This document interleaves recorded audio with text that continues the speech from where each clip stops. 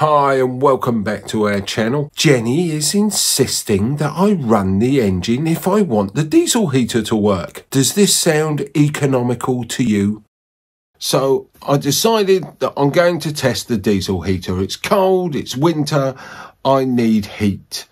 So the most economical way of getting heat is to use the diesel heater. So I go to the Genisys panel and I press the heater. Jenny turns around and says to me, gotta have the ignition on. Okay, so I start the engine, press the heater, heater works fine. Fantastic. The diesel heater is working as it should. It's using an awful lot of fuel though, because it's running a three litre turbo diesel engine as well as the diesel heater. Well, we'll be rewiring that.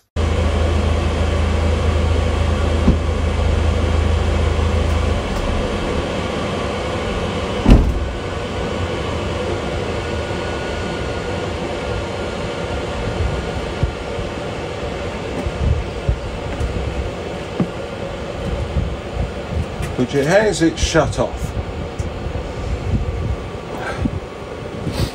But interestingly enough,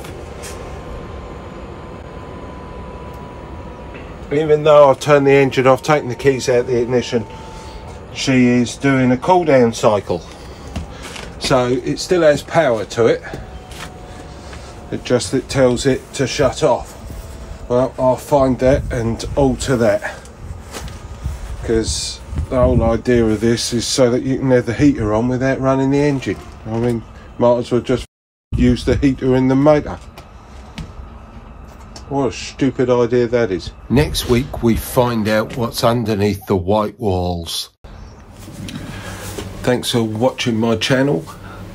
Please give me a thumbs up and uh, subscribe. It's completely free.